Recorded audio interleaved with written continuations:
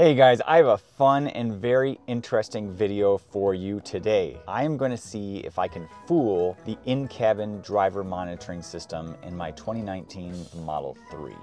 I've been testing the in-cabin camera and its functionality ever since October 2021.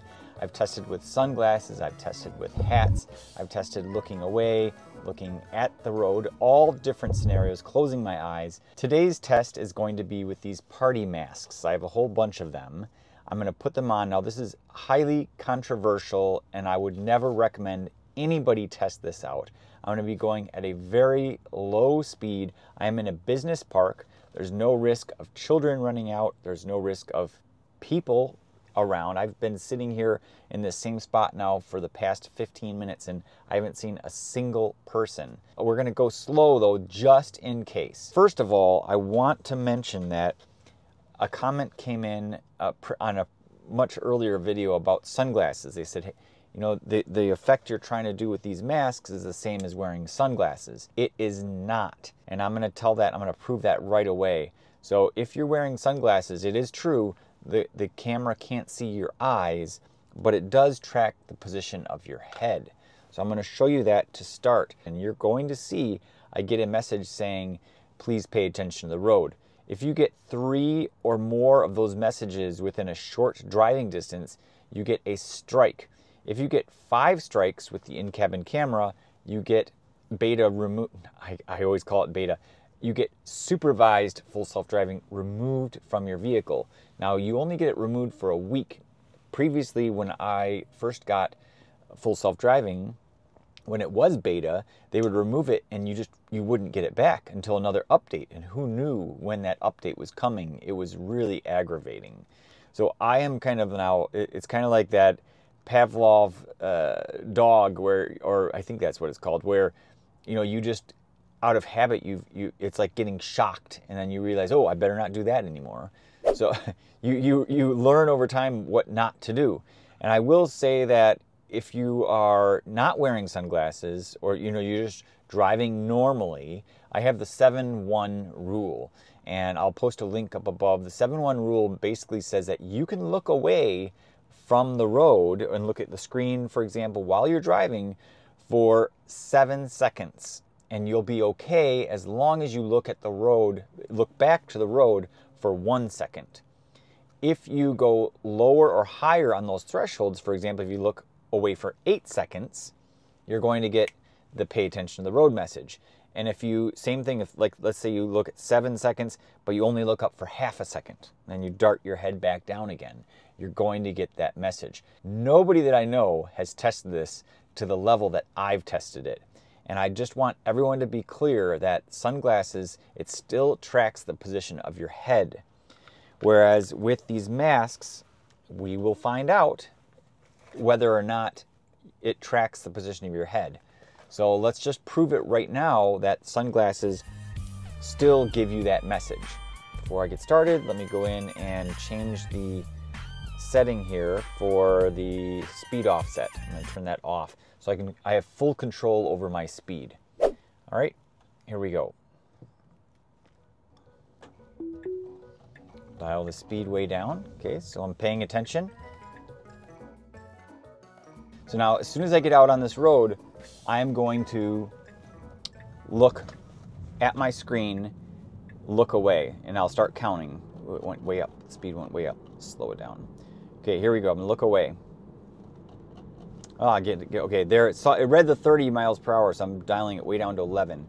Okay, here we go. Looking away. One, two, three, four, five, six, seven, eight, nine, 10, 11, 12, 13, 14, 15, 16, 17, 18, 19, 20, 21, 22, 23.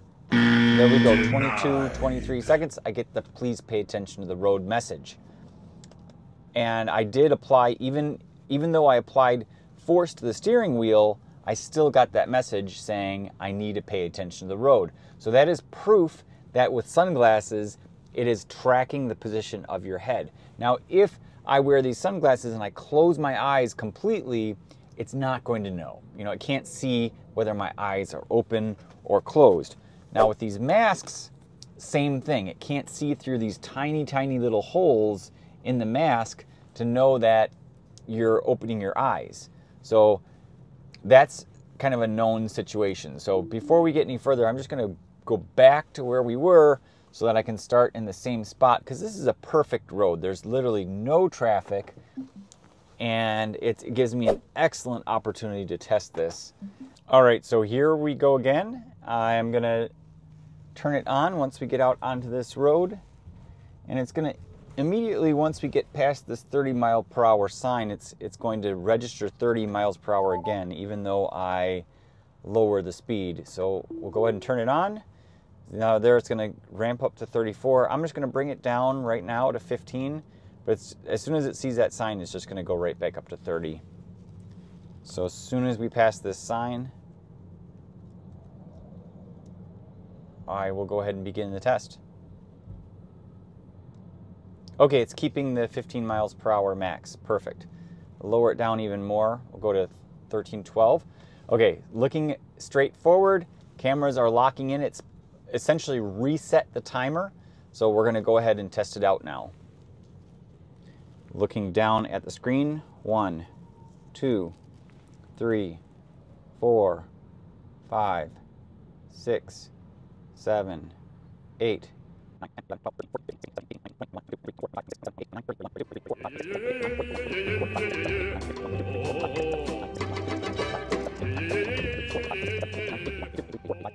87, 88, 89, 90.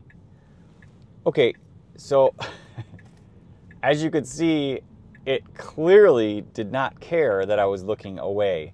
Whereas with sunglasses, it does care.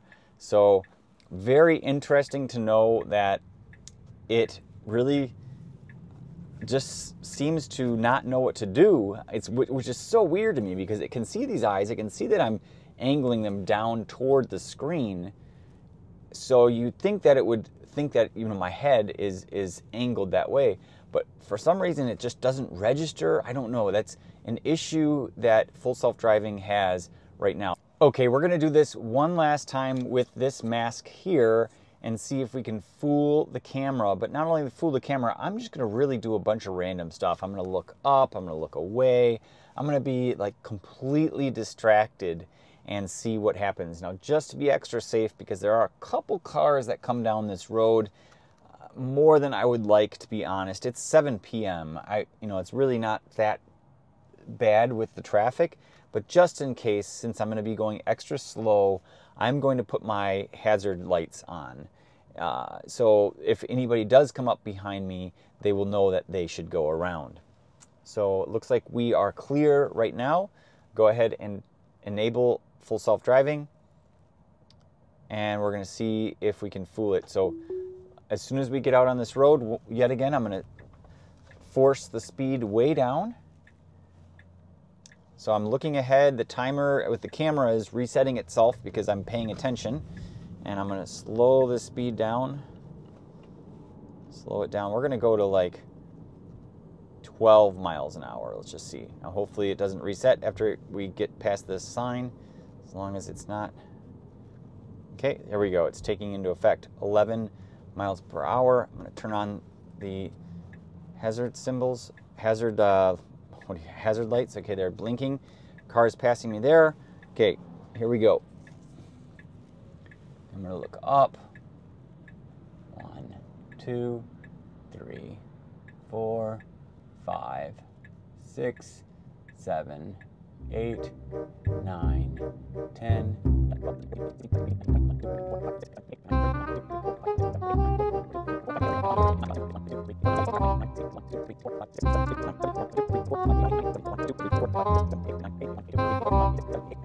A few moments later.